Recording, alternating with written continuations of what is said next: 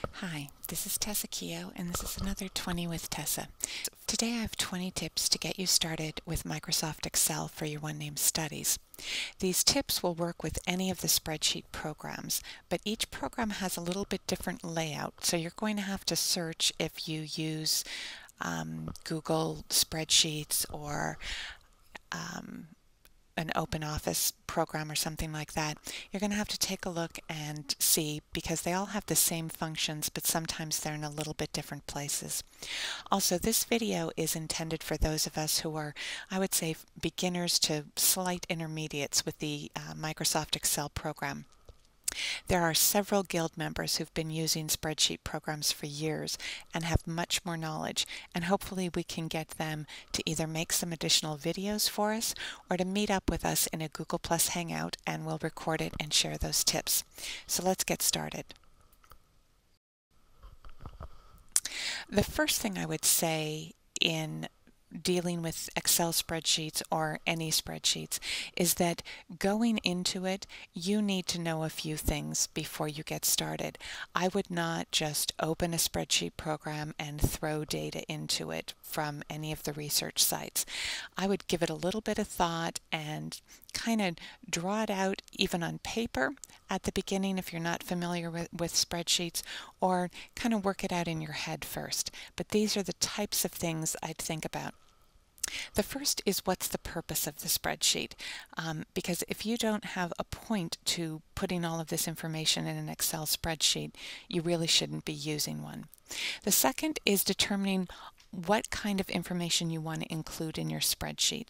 And specifically, you're going to need to think about the headings, the layout, the columns and the rows, how you want the spreadsheet to look, how you want to be able to sort and filter the information, how you want to be able to um, review it and maybe um, find information in your spreadsheet. All of all of these questions you ask yourself are going to determine how you set it set up your spreadsheet, how you set up the headings, the layout, the column and the rows, uh, the titles, and even how you input the data. So the first tip that I would give you is to expand your quick access toolbar. And if you've watched some of my previous videos, you've seen that I have mentioned the quick access toolbar and how you can customize it. And just really quickly, uh, if you go into the Start button and you uh, click on Excel Options and then finally the Customize section, you will be able to add any of the popular or even the unknown commands that are in Excel. I'd encourage you to play around with it and to expand your toolbar. The second tip is about preferences.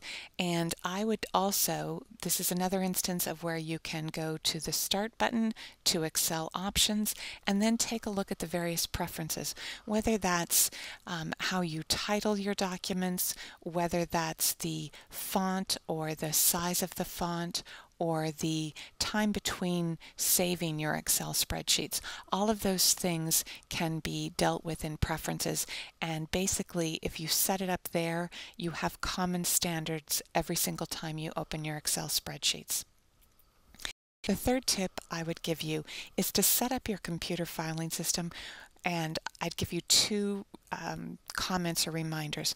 Don't make your filing system too complex because you don't want to be drilling down through several subfolders, especially because both with the Windows system as well as the Mac system, and I don't know if that's considered Apple, um, each of them have great ser um, search functionality and you can easily find um, folders and files that you're looking for. So, so don't make it too difficult to find your files.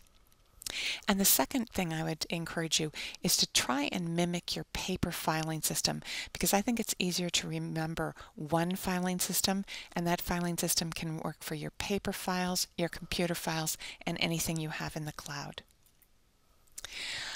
The fourth tip would be to learn some shortcut keystrokes. With data entry, it'll make your life much easier if you use your keyboard rather than going back and forth between the keyboard and the mouse.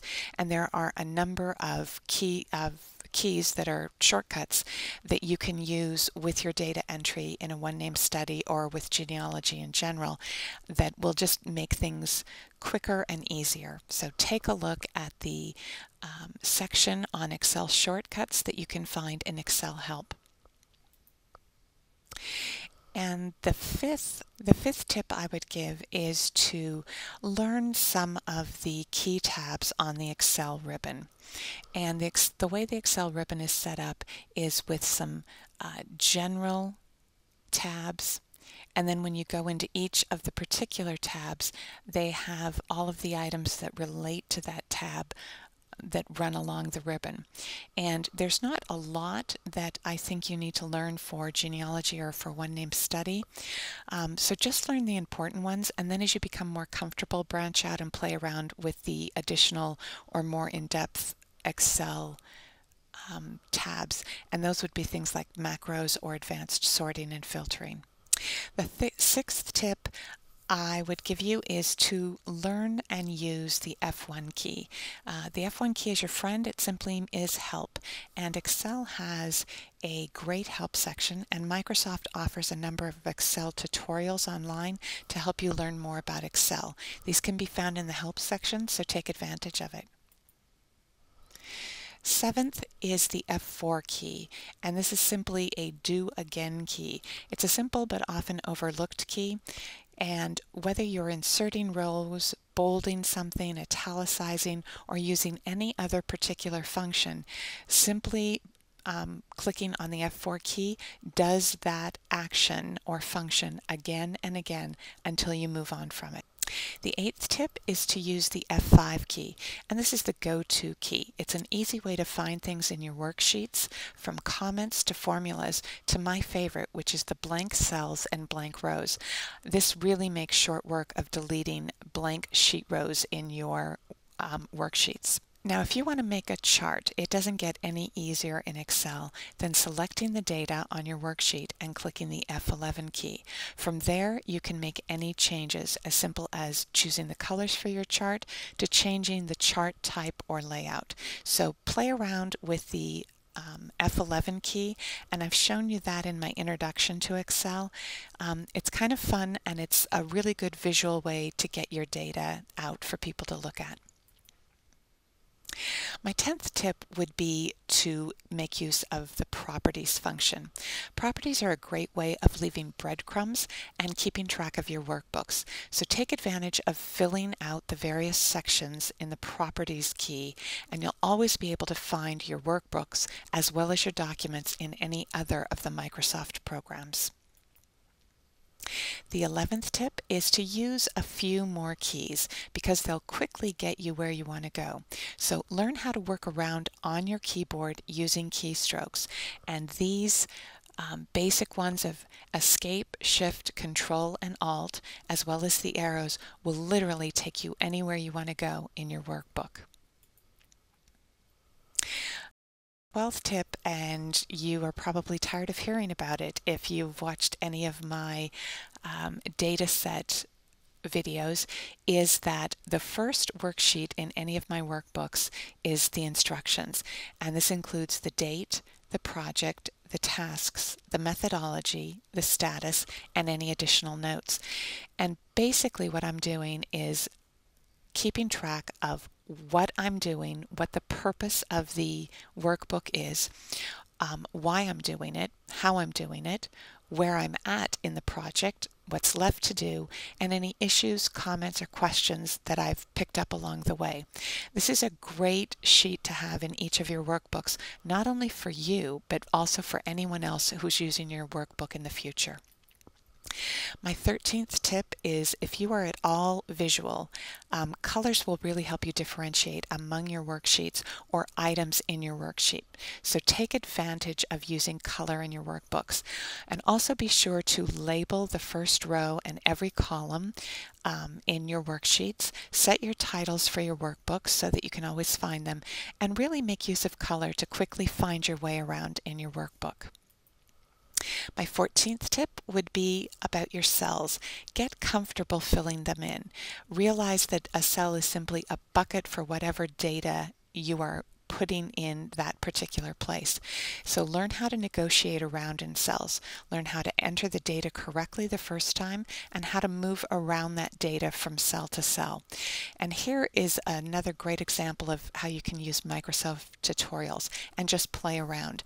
You can enter text, dates, formulas in any of the cells, and you really do need to understand the difference between text, general, dates, and formulas and know how they work with your one name study. The 15th tip would be to learn the difference between paste and paste special because this relates to the format of where you took the information from and where the information is going to show up in your um, workbook. And it'll make your life easier if you learn how to do it right the first time. My 16th tip is to always make the time to source your work. Include the citation and the date of your research. You do this for your research logs and your genealogy database program. You need to remember to do it in your Excel workbooks because trust me, you will never get back to that instruction sheet and come up with the date that you did the research um, and work your way through if you don't keep track of the source citations at the outset. My 17th tip would be to learn how dates work in Excel. The method of entry really matters. And that's because Excel is a flat um, database program and it is set up with formulas and it is set up to be uh, working with math and accounting functions and um, just a number of formulas. And in fact, the, the formula when you enter a date is set up as a number and Excel does not recognize dates prior to 1900. So if, if you weren't aware of that and you use the date format for your dates, you can easily screw up any of your uh, data entry. And if you don't come up with a method of dates for your data entry and use it each and every time, you're really going to be unhappy when you see those dates moving around and realize that you don't have a clean copy of your date information.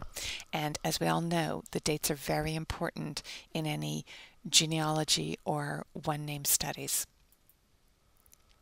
The 18th tip I would give you is to use hyperlinks. And I would first say don't overuse them because they will add a lag time to your workbook. However, they are an underutilized source of going from one document to another or of going from a row of information in your workbook to the actual data record set, whether that's in Family Search, Ancestry.com, or any other website. And in this instance, I'm showing you the link to the um, Irish censuses and this will take me directly if I click on the link each row of this information will take me directly to the census information. So be sure to when it's appropriate take advantage of hyperlinks. My 19th tip would be um, to use the Form tab just for a new view. I don't know if you're aware that there's a Form tab in Excel. I was not aware, um, but by using the Form tab to review your worksheets, you have a whole new view for advanced searches, um, and you can enter data not in the spreadsheet format, but in a database format.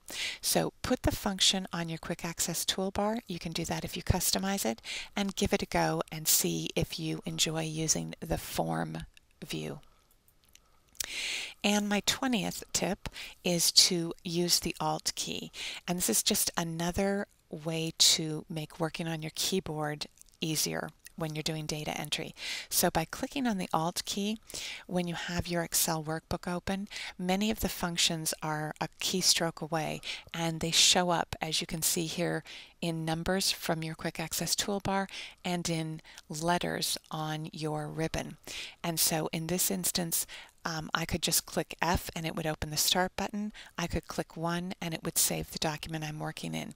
So this is a really great way of working around quickly and not you know moving your hand to the mouse and and really slowing down your work effort.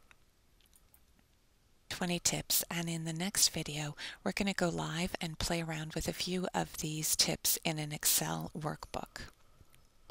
In addition, if you have any tips for using Excel with your genealogy or a one-name study, I'd appreciate it if you'd share them with the rest of us.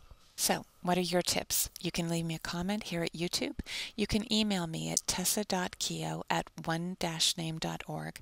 You could post publicly or privately on Google+. You could visit the Guild on Facebook or at Google+. And finally, you can post at the Guild bulletin board in the Excel topic. So I'd be really interested in learning more about formulas and macros, and I know that there are a number of Excel experts out there who can help us.